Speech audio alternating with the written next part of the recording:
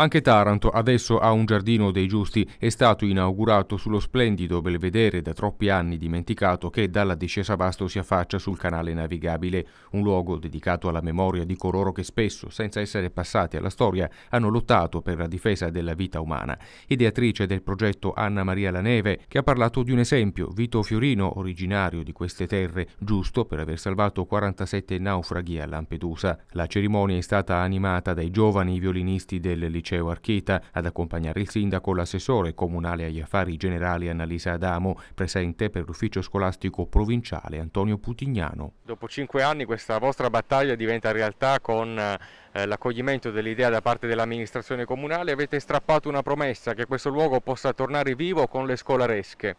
certamente deve tornare vivo con le scolaresche perché il giardino dei giusti, mentre ricorda i giusti che si sono sacrificati eh,